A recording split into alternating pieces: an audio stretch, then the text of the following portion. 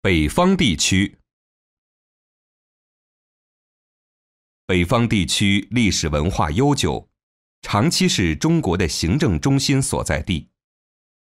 西安、北京、洛阳、开封为著名的古都，名胜古迹众多，人文旅游资源极为丰富。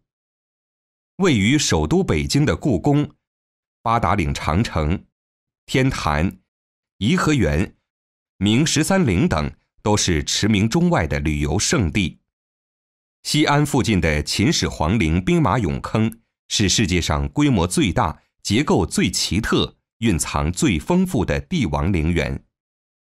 被誉为五岳独尊的山东泰山是我国第一个世界自然文化双遗产，流传着“登泰山而小天下，会当凌绝顶”。一览众山小的千古绝唱。